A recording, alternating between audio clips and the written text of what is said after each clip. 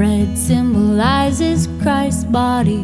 Mm, what do the bread and the wine represent? The bread symbolizes Christ's body that was crucified, crucified for us, can't you see? He was crucified,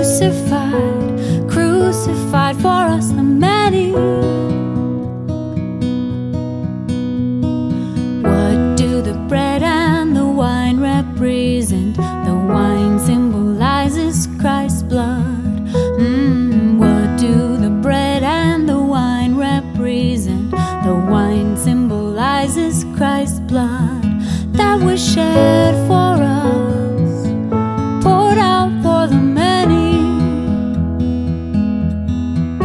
That was shed for us, poured out for the many, for the forgiveness of our sins. Matthew 26,